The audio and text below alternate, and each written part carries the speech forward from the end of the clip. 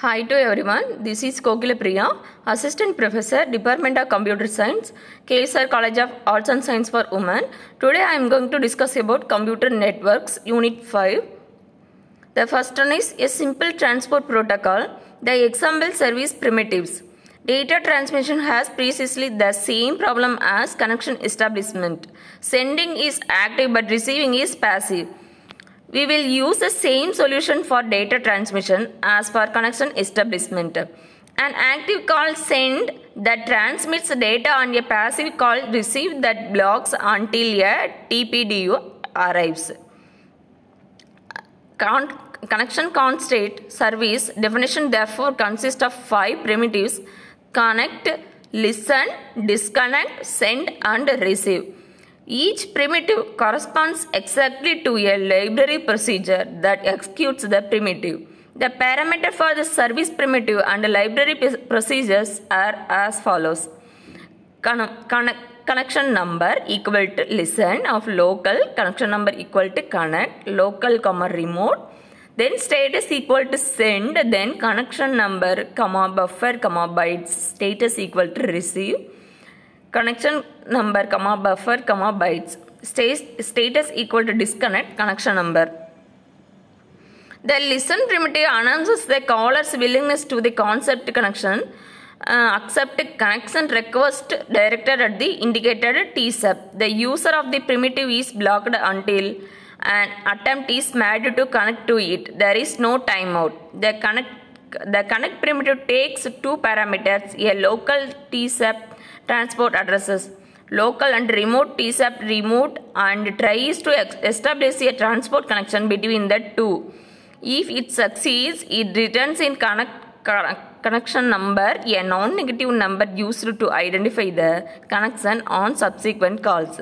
If it fails the reason for failure is put in consume as a negative number. The send primitive transmit the contents of buffer as a message on the indicated if it succeeds, it returns in connection number a non-negative number used to identify the connection on subsequent calls. If it fails, the reason for failure is put in consume as a negative number. The send primitive transmits the contents of the buffer as a message on the indicator. Transport connection in several units if need, need be possible errors written in status are no connection, illegal buffer address or negative count. The receive primitive indicates the callers decide to accept data. The size of the incoming message is placed in bytes. If the remote process has released the connection or the buffer address is illegal outside the program user's program, status is set to an error code indicated the nature of the problem. The disconnect primitive terminates a transport connection. The parameter connection number tells which one. Possible errors are connection number belongs to another process or connection number is not a valid connection identifier. The error code or 0 for success is returned in status. The example transport entity. The transport layer max use of the network service primitives to send and receive TPDUs. For this example, we need to choose network service primitives to use. One choice would have been unreliable datagram service. To keep this example simple, we have not made that choice with unreliable datagram service. The transport code would have been large and complex, mostly dealing with lost and delayed packets.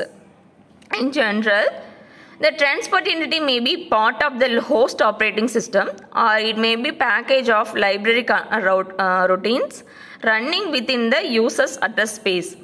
For simplicity, our example has been programmed as though it were a library package but the changes needed to make it part of the operating system are minimal primarily how users buffers are accessed. Next connection uh, connection not established yet ideal waiting. Connection has been executed and a call request sent. Queued. A call request has arrived. No listen yet. Established. The connection has been established. Sending. The user is waiting for permission to send a packet. Receiving. A receive has been done. Disconnecting. A disconnecting has been done locally. Transitions between states can occur when any other other of the following events occur. A primitive is executed, a packet arrives, or the timer expires. The XLM as a finite state machine. Writing a transport entity is a difficult and exacting work, especially for more realistic protocols. To reduce the chance of making an error, if it is often useful to represent the state of the protocol as a finite state machine. It is also possible to isolate 12 events that can move a connection from one state to another. Five, five of these events are the five service primitives. Another six are the arrivals of the six legal packet types. Thank you.